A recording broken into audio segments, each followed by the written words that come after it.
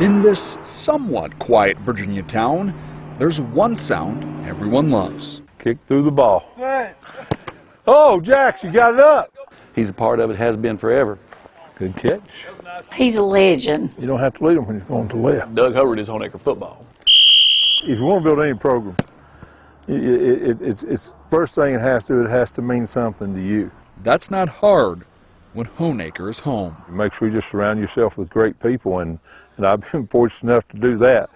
Thank God I was able to do one thing. 39 seasons, 237 wins, two state runner-up finishes.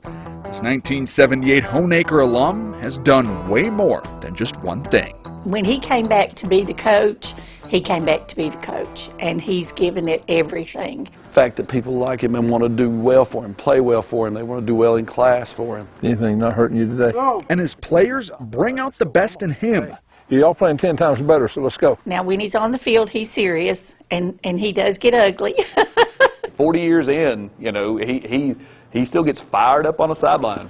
You'd done that the other night, one, we'd probably still be running. But he knew that fiery passion wasn't going to last forever. Run out of time here, run out of time. And that clock finally hit zero, with Honaker falling to Holston in the first round of the playoffs this past Friday. It's going to be tough for me. I mean, you know, not only uh, do I work with him, but he's a close friend. Honestly, I cannot imagine somebody else on that sideline as the head coach just because I've never known anything else, and this community hasn't known anything else for 40 years.